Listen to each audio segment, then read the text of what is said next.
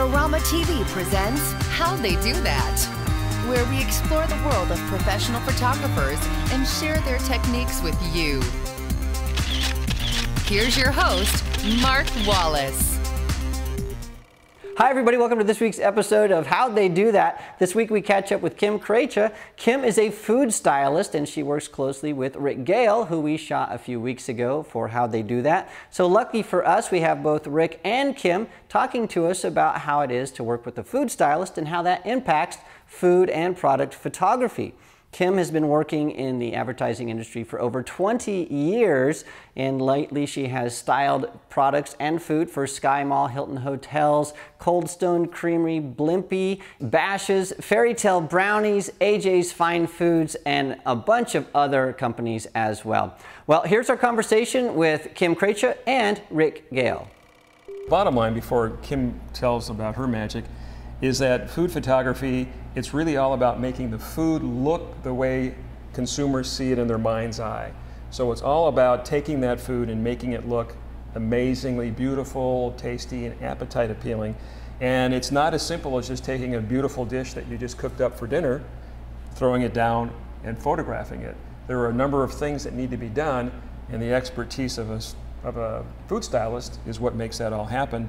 So Kim's got a bunch of tools that uh, make things Yeah. happen. So, Kim, tell us about the salad that you were telling us about, first of all. I think that will help us get started. Well, typically with salads, a lot of times the photographers like to pull up and shoot into it.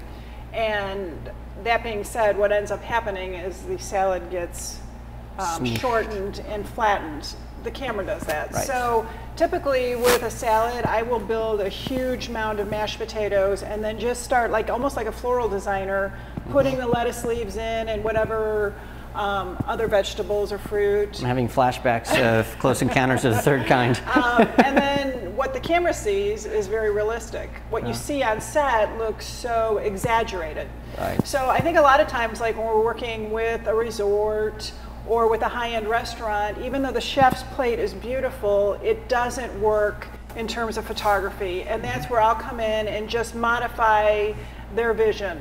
Um, so that being said, you know, my background was in art direction. I went to culinary school and then have kind of combined the two um, disciplines. And I think it helps, especially in a small market like Phoenix, where a lot of times for the still shoots, there isn't a budget to have a prop stylist who does the styling on set, the food stylist, and the photographer. So I've been able to do both the prop styling and the food styling on, you know, still shoots. So, um, kind of the tools of the trade, my like absolute baby, if I don't have it, I go into meltdown, is my dental tools. I, I'm like I so like this? dependent on them. Um, One of so, several. Yeah. One of many. Where but do I you have my lucky one. Where do you buy dental tools? I'm just Actually, curious. I my dentist. I'll just say, do you have any? And a like, lot of I think you're getting a phone call and uh, they're you throwing know. them out or they only have a shelf life of so long and he'll give them to me but you can also order them online So this might have been in somebody's mouth at oh one i'm time. sure it was but it's been in nasty places than that That's awesome. wd-40 and Okay. god knows what motor oil um, so uh, what else oh the cosmetic sponges there are a lot of food stylists that like to build up food with mashed potatoes why i don't care for that on all food applications is that when i build something up with mashed potatoes if we choose to move it then there's mashed potatoes on the food Right. with the sponges, I can take them in and out, move food, put them back in, and nothing is really damaged on set. A typical example of using these things would be if we were photographing a hamburger, Right. um, where you want everything to be lined up perfectly. The bun sometimes has a tendency to sit back too much, and if you don't want that, you take a little bit of this foam, stick it in the back. And the funny thing is, what we should do is we photograph the back of one of these sandwiches. Right. It would really tell a story. How much is There's propped up? T-pins, Right. there's foam sponges, maybe little balls of wax. It is, it's basically engineering. Gotcha. And so, um, and these are really soft and flexible. You can put pins into them and all kinds of stuff. Any makeup store, you're going to be able to get this stuff. Um, absolutely. Walgreens, any Right. kind of. Uh, That's very, very nice. Okay, now we also have this big bag over here of all kinds of stuff. What's this about? everything in here is um, things that I need on set: uh, food coloring, Q-tips, uh, wax, tacky wax, oils, And wax is used to hold things in place, and you can form it. You use little uh, Well, a lot of modeling wire. times, a lot of times, you know, perhaps a photographer is going to want just the hint of a fork on the plate. Well, does that really balance? Not really. Okay, So gotcha. a little bit of tacky wax will hold it to the plate. If the if we decide to move it because you're getting a hot reflection, it can be moved. Um, you know, obviously we're trying not to get you know fingerprints, so we wear gloves. Um, Stuff you know, I've never thought of. And all these, you've got Well, the mini straws- straws, here. That's we use those for a lot of things. Typically, shooting ice cream. If we shoot and use real ice cream, and I think Kim's got a, a funny little story about fake ice cream that um, we put real ice cream on the set.